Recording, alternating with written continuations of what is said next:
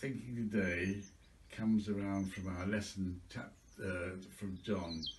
I believe, but help thou me in mine unbelief. I think it's a fair start for all, all of us in today as a, as a prayer, isn't it, really? Help my unbelief. Now at Sullington, in many of these services, we've had all sorts of people present. You may not believe it, but from Roman Catholics, Salvation Army, Presbyterians, Church of England, Methodists, and nothing. That's all great. In fact, it was, uh, I think it was Archbishop Temple who said some time ago, the Christian Church is the one organisation in the world that exists primarily for the benefit of non-members. Thank you for joining us in this series and you remember that uh, last month, uh, David, I think very brilliantly, in his lovely fireside manner, except there wasn't a fire, uh, told us about St Peter and St Paul in prison.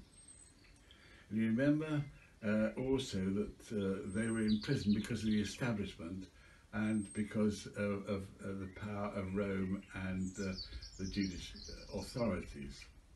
And he then came up with something quite interesting. He said they did the extra mile, both of them in their various ways. Now that's quite interesting really at the moment because we're talking about the extra mile, aren't we? This week would have been the London Marathon where many people would have done the extra mile. And that's that fantastic 99 year old who his, did all his walking and did the extra mile for other people. That's what it's all about, the extra mile. Now this week, uh, we want to talk about the church and those who have uh, suffered, but this is at the church's hands. You may not believe it, but sometimes the church itself is not very Christ-like. Oh, you're terrified that I'm saying this. But just look at the history in the past. The church sided with the wealthy, didn't it? It sat on the poor. It's incomprehensible. Now, I suppose if Sarah Jane, bless her heart, suddenly spoke in Latin or Greek, it wouldn't mean much to you and it wouldn't mean much to anybody else. The dog agrees with that, by the way, it's outside. But um, that's how it is. But you think, how could possibly be the church being unchristian? Think about it a minute. We're going to follow the thought quickly today about St Thomas.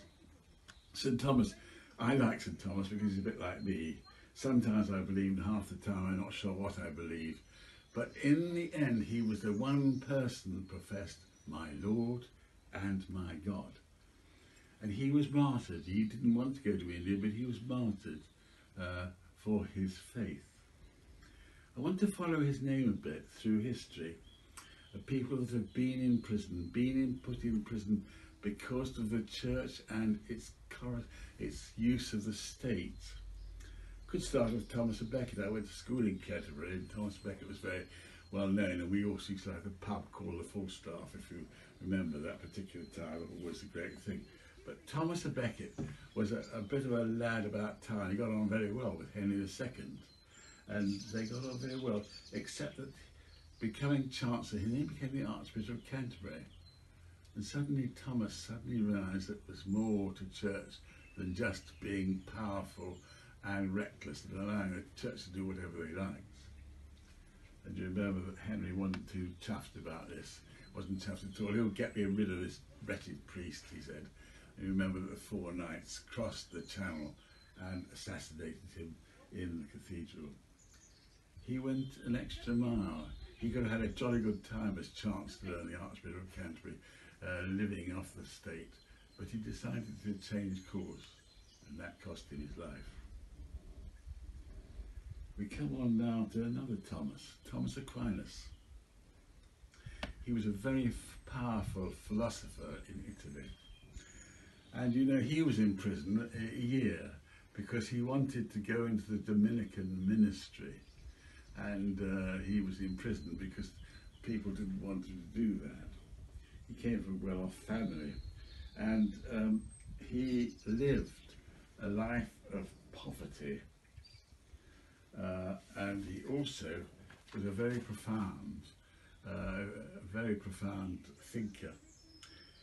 He said, um, to one who has faith, no explanation is necessary. To one without faith, no explanation is possible. Think about that.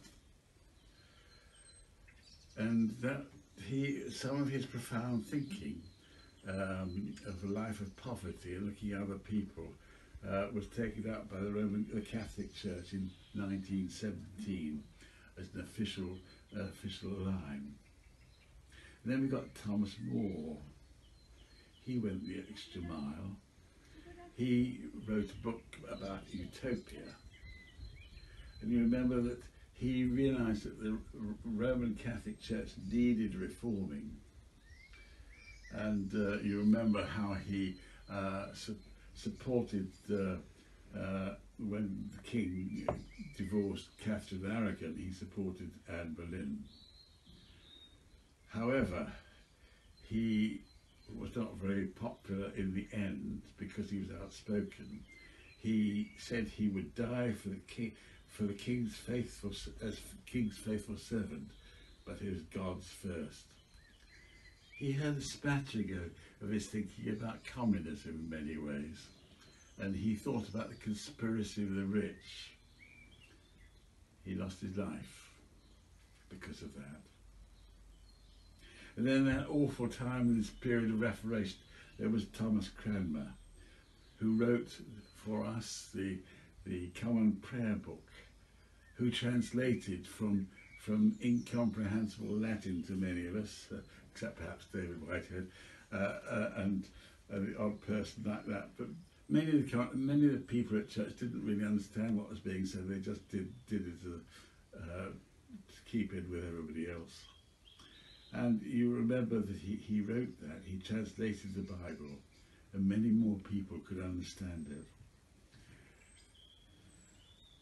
I've always hated bonfires, and we remember that he lost his life uh, to Mary, who was a Catholic, he was a Protestant and he lost his life as the 17 martyrs celebrated. How can you say celebrated at Lewes?